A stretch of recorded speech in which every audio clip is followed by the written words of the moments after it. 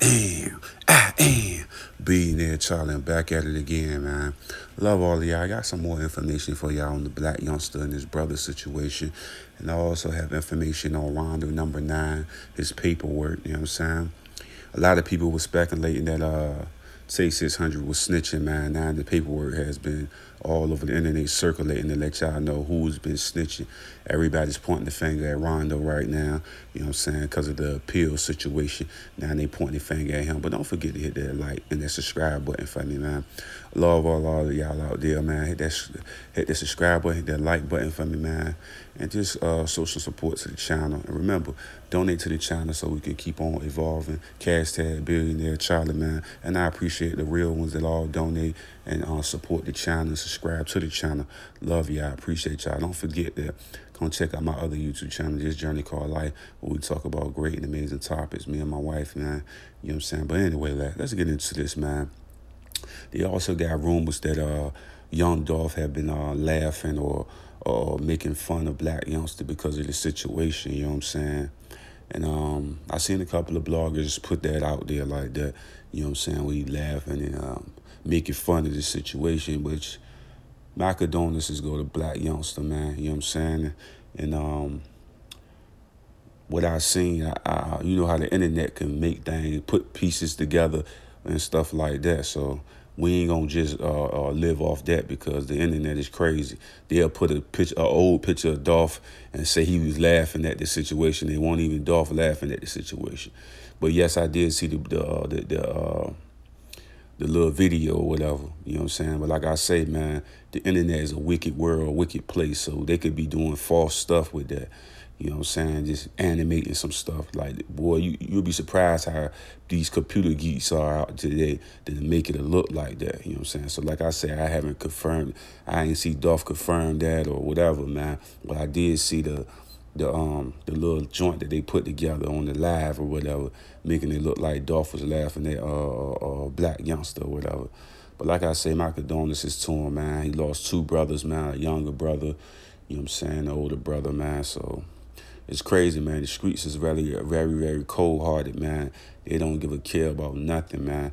You know what I'm saying? That's why I always tell people, man, you gotta when you get when you start doing better, you gotta you gotta begin to make your team better, everything around you better. And just get away from those areas that you know people are hating on you. You know what I'm saying? Cause like people always talking about, let's go back to the hood, let's go back to this for what? Live your life, man. For real, man. That's just fat though. But I'm gonna let y'all listen to this thing of the paperwork being exposed on the Rondo number nine, man. Y'all tell me what y'all think about it. I love y'all, man. Keep on tuning in. I am Billionaire Charlie.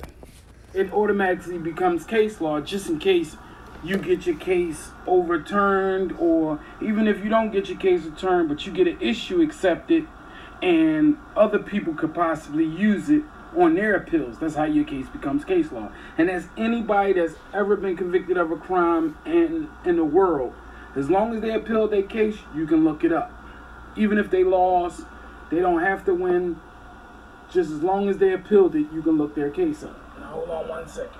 Like I said, all right, now is Clint Massey, which is Rondo number nine. He's the defendant and the appellant. All right, so let's start off right here. The presiding judge, Judge Mason, delivers the judgment of the court with opinion. Justice Lavin and Hyman concurred in the ground in the judgment and opinion. This is the pain. This is when they first tell you about the case, and it tells you what he using, what appeal rights is he trying to use. All right, so the defendant, Clinton Massey, which is Rondo number nine, and his co-defendant Courtney Ely, which is e, uh, C-Day, were convicted of murder in the shooting death of Javon Boyd. The state's evidence showed that Boyd, the private taxi driver, was waiting for his fare when Massey and Ely approached the taxi and shot Boyd. Although there was conflicting evidence as to who did the actual shooting. Now this is where the telling part come in at. On appeal, Massey who is Rondo number nine, argues that I, his counsel was ineffective. Ineffective assistance of counsel is what a lot of people use for their appeals. That's like the generic version. Like if you don't have no other grounds for appeal, the first thing you put in is ineffective assistance of counsel. So everybody use that. No matter what your grounds for appeal are, this is the first thing people use so they don't try to burn out all their appeals from the rip. Alright, on appeal, Massey argues that his counsel was ineffective for not more vigorously pursuing a defense theory that Eli, that Ely, that Ely, Ailey, whatever his name is, was the shooter. Now that's it right there. That's he. That's I don't even have to read anymore, but I'm gonna read anymore.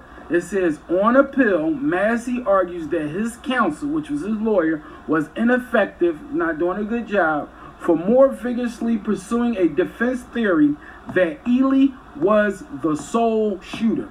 So he's saying, like they was together, they convicted her already. So he basically trying to get his appeal in by saying that C Day was the shooter.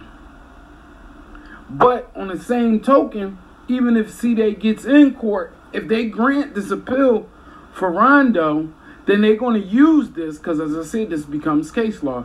They're going to use this in E Day, um, C Day trial and say that, well, y'all both convicted for it.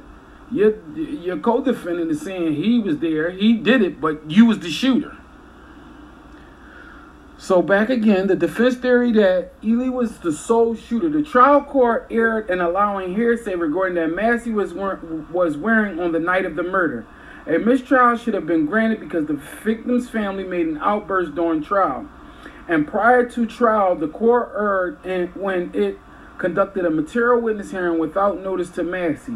We decline to adjudicate Massey's last contention since it relies on matters outside the record and is therefore inappropriate for resolution on direct review, finding no merit in his other claims of error. We affirm. So basically, they saying when they say they affirm and they don't find no merit in it, they basically saying that he ain't got no grounds. But now this is when they actually get in because there was a lot of hearsay, everybody trying to figure out what happened and everybody saying what they think no happened, but this is exactly it. This is exactly what happened, and this is from trial transcripts. On the night of February 21st, 2014, defendants attended a party at 39th Street and Wentworth Avenue and the Wentworth Garden housing projects. Massey wore a tiger striped jogging suit and Ely wore a Burberry shirt and white pants. Also attending the party were Caprice Johns, Jasmine Brown, Jermonte Carpenter, which is Tay 600, Takay Herbert, and Jerome Anderson. Defendants left the party with Herbert and Herbert's van. After they left, Johns, who remained at the party, got into an argument with a group of women known as Pretty in Pink because Johns disliked the song that was being played. As they argue, someone fired a gun into the air multiple times. Johns did not see who fired the shots, but she guessed that the shooter wanted to stop the argument because it was too loud. Now, Johns, as I just read her name back here, she the one testifying. So if she not helping the case, she hurting the case, so therefore she telling. But we're gonna find out exactly if she telling, because like I said, can't call a person a rat without the paperwork, and we reading the paperwork. The, the gunshots did not hit anyone. After the altercation, Johns left the party with Brown, Carpenter, and Anderson. They left in John's car with Anderson driving. Carpenter made a phone call to either Massey or Ely, who were still with Herbert in her van. And they told them about the altercation at the party. Carpenter put the call on speakerphone, and Brown could hear Ely's voice, which she recognized on the other end. Again, that's uh, C-Day. Anderson drove to Wendy's where they met up with a red car in Herbert's van. Ely and Massey exited the van and got into the red car, along with a man named D. Rose. A fourth man, unidentified at trial, was the driver. The three vehicles drove towards Wentworth Gardens in a convoy. First the red car, then Herbert's van, then John's car. According to Johns, they intended to see who shot at them and deal with the matter. And these is the footnotes, so this give you like a background on it. At trial, Herbert admitted attending the party, but she denied seeing defendants at the party or knowing anything about the shooting. She was impeached with a signed statement she made to Assistant State's Attorney Patrick Walker on March 4th, 2015, where she admitted a subs- See, this is when she trying to take back her statement because everybody's saying she telling, and now the paperwork is out. Part 3 of 17. Meanwhile, Latoya Adams was visiting her mother in Wentworth Gardens around 3 a.m. on the morning of February 22nd. This is another girl's statement. She called for a taxi to go to a friend's house. Boyd, who was driving a car that contained no outside identification that it was a vehicle for hire, which was dispatched to the call.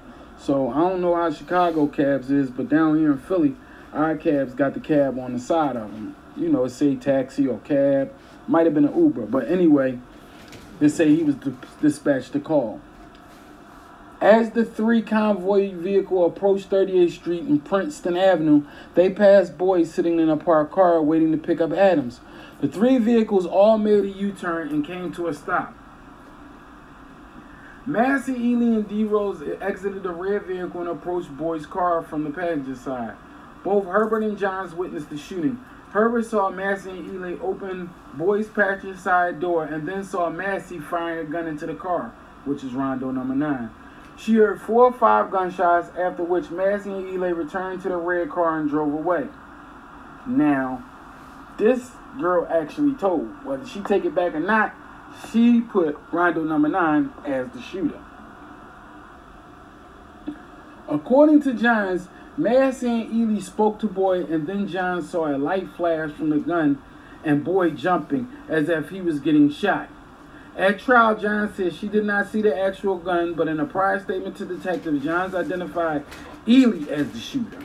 After the shooting, D. Rose ran back to John's car, got inside, saying shit, and he's dead. Massey and Ely ran back to one of the other vehicles, and all three vehicles drove away as they left. Johns could see Boyd slumped over in the car. So now there's another witness saying that C Day did the shooting. Number 22. The shooting was captured on surveillance cameras belonging to the Chicago Housing Authority, which owns the Wentworth Gardens housing project. The video footage was played for the jury. In the videos, three vehicles drove past Boyd's vehicle and then drove back the other way. The convoy leader, a red car, stopped next to Boyd's vehicle and two men got out, one wearing a striped tracksuit, Massey, and the other wearing a brown shirt and white pants. Ely. They approached Boyd's car from the pa- front passenger side and appeared to be talking to him. Now, again, this is actual paperwork. So forget what everybody's saying, who telling this, who telling that. This is the actual black and white statement, 4950. That's what it's called. Boyd's car started backing up, but hit a vehicle parked a couple feet behind him. At this point, D. Rose got out of the red car and ran back towards John's car. There was a bright flash of light near Ely's hand. Boyd's car surged forward and hit another parked car. Massey and Ely ran forward to look in the front passenger window. Ely returned to the red car. Massey followed him. A few moments later, and the three vehicles drove away. Back to another statement. Adams came outside to pick her pick up her ride and found Boyd hanging out the driver's side of his car.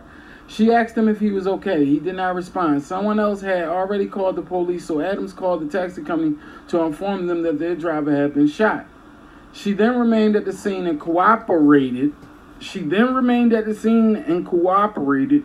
She then remained at the scene and cooperated for you fucking dummies with police when they arrived. After leaving the scene of the shooting, all three vehicles drove to the Shell gas station at 55th Street, and you know that gas station got them on tape. Video surveillance footage from the gas station showed Ely walking towards John's car. This one they're gonna be able to tell who is who by the tracksuit and the Burberry shirt, because it's gonna probably catch their face. Massey did not appear in the video, so Rondo was still in the car, but they could pick out what who face was shown on the camera and what they had on by who they was. According to Johns, Ely entered the vehicle, told her that he dropped his iPhone at the scene of the crime, and asked her to help him retrieve it. Ely also told Johns about the shooting. He said that he asked the victim if he was from around here and specified the part of Wentworth Gardens where the party had been. The victim said he was. Ely then said man down, which Johns understood to mean the victim was dead. I'll be seeing a lot of cases, right? Where a lot, even in my hood, a lot of these niggas be taking their phone when they going to go park something. And they take 55 people. That's why everybody testify on you dudes. And everybody got paperwork. You calling them a rat, but you're a failure from the rip because you need three or four people with you to kill somebody. I was told the only way three people can keep a secret is if two of them did. You don't need nobody to go by, go with you. You're the only person that can tell on you when you by yourself. And then you dropping, always dropping something. This nigga drop his phone with his with his um, Apple ID on there, probably credit card, like a little, you know, uh, Cash App card, but all your information, Instagram, everything on there. Anyway, Johns drove down back to the scene of the crime, but police had already cordoned off the area and would not allow her to enter. Officers did, in fact, find an iPhone in the middle of the street near the victim, victim's vehicle. Slam dunk. A late impression removed from Boyd's passenger side window was identified as belonging to Ely. Slam dunk. Ely's fingerprint was found was not found at the scene. Inside Boyd's car, the police recovered three 9mm fired cartridge casings and two 9mm fire bullets additionally. So that means the bullets went through them and came out somewhere because the cartridges is just a shell. The police recovered three 9mm fire cartridge cases and three 9mm fire bullets. Additionally, the medical examiner recovered two more bullets from Boyd's body. From Boyd's chest. Excuse me. Kellen Hunter, a firearm examiner for the Illinois State Police, determined that the bullets were all fired from a single gun and the cartridge cases were all fired from a single gun. He was unable to determine whether the bullets and cartridges were fired from the same gun since it is impossible to match a fire bullet to a fire cartridge case. For y'all that don't know, whenever somebody shoots somebody or they use a gun in the crime and they do ballistics, the actual hot lead, the bullet that which comes out the casing that tears your ass up is not what they match to. Because all it is is a hot piece of metal that takes form of whatever it hits. So it's basically a fat surface, a chunk, or a straight bullet. What they use is the casing. Each gun has a unique signature when the hammer hits the back of the bullet. When a hammer hit the back of the bullet, it make a signature on it, just like a fingerprint. And what they do is they identify that signature by firing another gun. I mean, firing that gun to see if the shell cases match. Now, if they don't have the gun, then when they do find the gun, they use the casing. Or if they have another crime that was committed and they found shell cases on the ground, then they match them. This is why you need a shell catcher or a revolver or pick your shit up. Or don't kill nobody.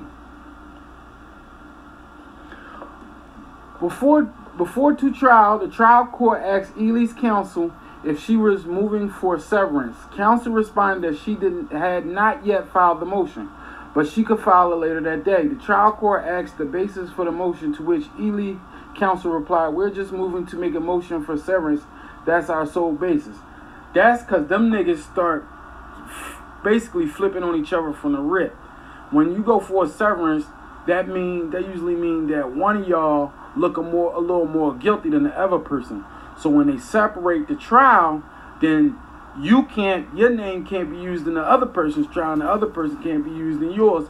But they can use that evidence to show that it was another person who did it and not you.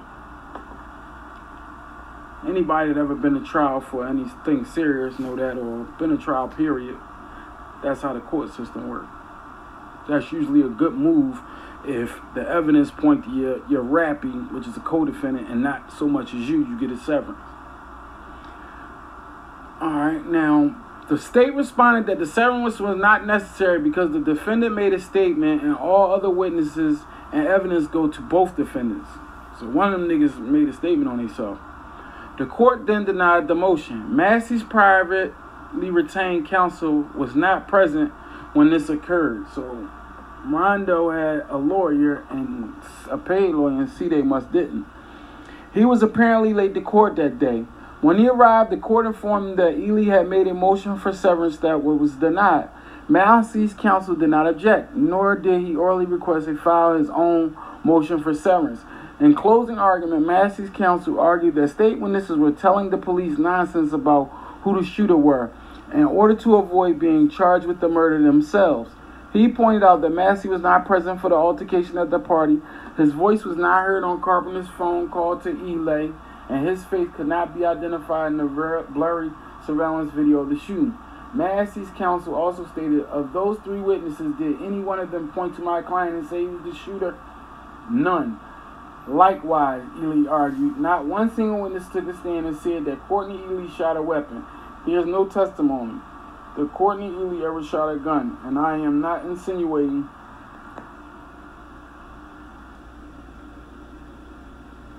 that Clint Massey shot a gun. I am insinuating that those women on the stand had reason to lie. Defendants were tried before a single jury for both defendants. The state sought a conviction for first degree murder and a 15 year sentence enhancement for being armed with a firearm during the commission of offense. That's called felony murder. Whenever a felony happens, um, whenever a murder is committed in the process of a felony, it becomes felony murder and eligible for the death penalty, which is first degree murder. Defendants were tried before a single jury for both defendants sought the, the conviction for first degree murder and a 15 year enhancement. The jury was instructed concerning accountability as to both the murder and the firearm allegation. The, the jury returned a general verdict finding both defendants guilty of first degree murder, but it found that the firearm allegation was proven only as to Massey. Following statement hearing, the trial court sentenced Massey to 39 years in prison. That nigga got 39 years, y'all. That's a lot of tick.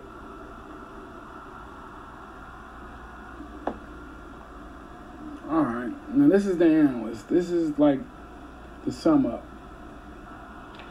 Massey argues that his trial counsel was ineffective for not more vigorously pursuing a defense theory that Ely was the sole shooter. Now that's the part that I'm getting at when I'm saying that Rondo number nine is telling, but he using his lawyer to do the telling because he he his whole thing is I'm gonna blow this up for you dummies.